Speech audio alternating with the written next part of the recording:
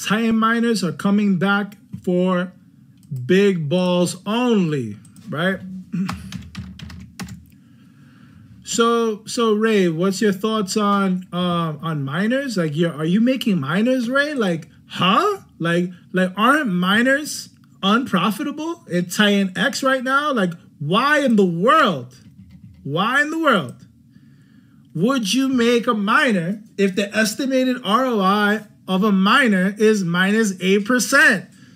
Wouldn't you rather just buy the Titan X liquid and hold it and wait for the price appreciation to go up so you get more token so you get more value from that instead of making unprofitable miners right? So those are all the questions of people who don't fully understand the ecosystem right? So here's evidence. This is exhibit a exhibit a this is one of my earliest brand new miners that i made recently right so what you're seeing here is this miner with its, its uh, with its estimated ROI being plus 61%. Wait, Ray, that's isn't that impossible? Like how is that miner profitable right now? Well, remember, every single day that you wait to make a miner the difficulty increases. So every day it becomes a little bit harder to mine Titan X. You get a little bit less and pay a little bit more. This creates scarcity and it's more aggressive than a Bitcoin halving and happens every single day. So you can read about that in the white paper. Always know that today is better than tomorrow when it comes to mining, right? So that's one aspect of why this is profitable. Another aspect is also the T rank bonus. So keep in mind, every time somebody mines miners in front of you, you get or you receive a bonus in your T rank. They call it Titan X rank. So the more people that come in front of you, the more your bonus is going to be, you know, as you uh your miner is um maturing, right? So I I thought to myself, I said, yo, wouldn't it be better for me you know, being seeing the trajectory of Titan X right now, um, you know, believing that potentially it could be hyper deflationary, understanding that uh, we're gonna have good price action in the future, wouldn't it make sense to bet on a long-term 280 day miner, the max, right? Uh, wouldn't it make sense to bet on that? Because when this becomes profitable, right, which is not too far away, right? On the on the UI I'm talking about, and, you know, when it's significantly more profitable, I would imagine that people are going to start aping into create miners here. And we're going to see a, a, a second miner wave for Titan X potentially. When that Titan when that Titan X miner wave comes through, what's going to happen? A whole bunch of people are going to make miners. The T rank bonus that I am accumulating is going to be significantly higher, right? And the buy and burn V2, I would imagine that all the funds of the buy and burn, um, all this capital that's coming in is going to go in here, right? Which is going to burn, buy and burn um, Titan X directly, which is going to be just sweet for my ROI and it's going to help maintain it, right? So you know, making it make sense, right? Because of T rank is better than me holding liquid, in my opinion. Betting on that, another miner wave, you know, is is of course that's where we want to throw our chips, right?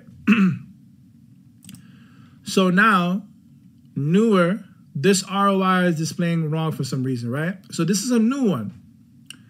I made this on the 15th this is not 35%.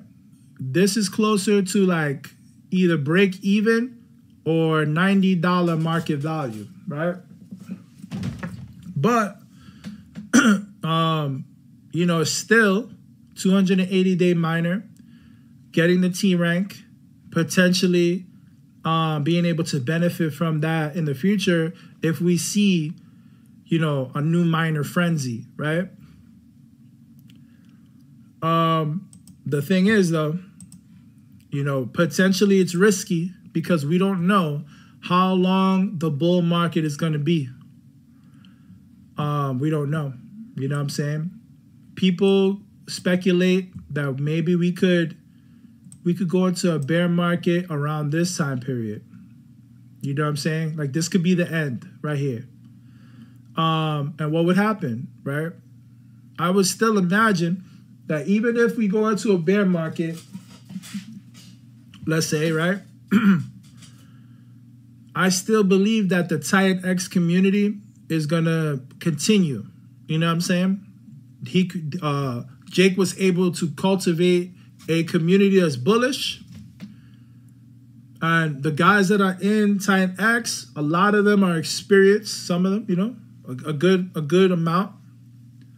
Us, you know, I'm saying we know the we know the deal when it comes to these bear markets, but what we could potentially see in the bear market is build on Titan X protocols, and then there's gonna be one build on Titan X protocol or, or a couple of them that are gonna be stupid strong, right?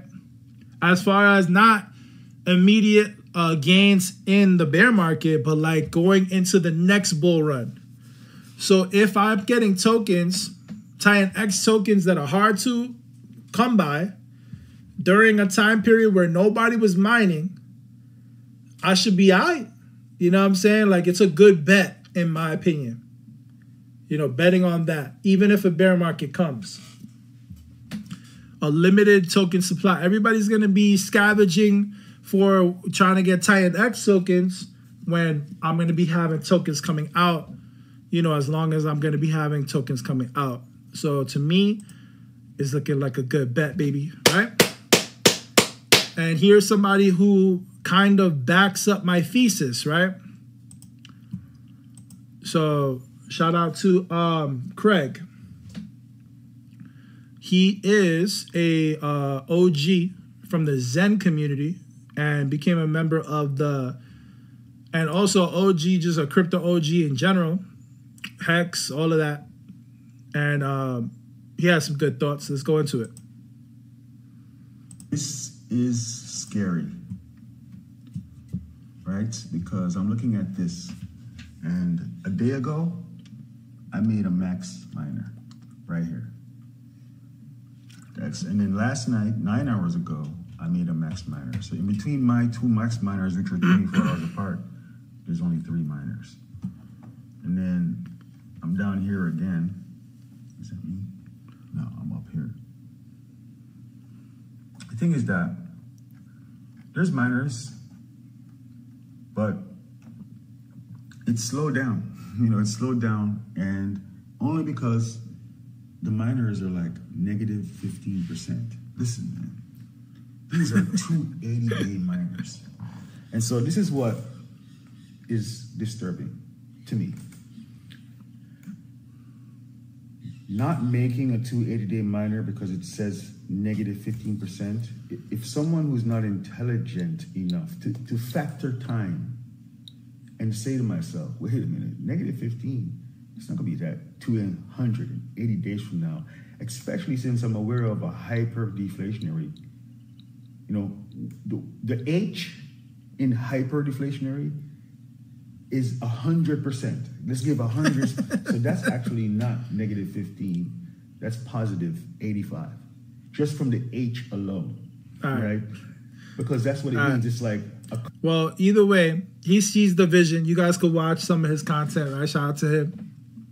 But he sees the vision of we are investing in a deflationary asset and it has um, several different buy and burns, and we believe that there's still bull run ahead of us. So you know, we could see a crazy price action for a Titan X. So, you know, his and his curiosity, he's like, yo, why aren't people mining yet? But it's because, you know, people are engaging in a lot of the other different Titan ecosystem products, right? But eventually, people will start FOMOing into this later uh, once they could visually see it in profit. So, Ray, why would you want to go into Titan X mining instead of going into the other protocol mining, right? Or the newer protocols? Remember, everything else has a is a layer, but that also comes with a layer of risk, right? Titan X is the one that's paired with the ETH directly. So Titan X is the low risk play. We know it's going hyper deflationary, and all these other protocols are here and created to support this. They're all liquidity bonded to this. So playing the low risk play is something that I like to add to my addition of higher risk plays. So if I have my basket, I have my low risk and I have my high risk. So I'm participating in, in all the things that I'm participating in, but adding to Titan X mining is the big balls play, man. All right. So we don't gotta get too deep on that. It's self-explanatory. Not financial advice. You do you, I do me, right? And we'll see what's up later on.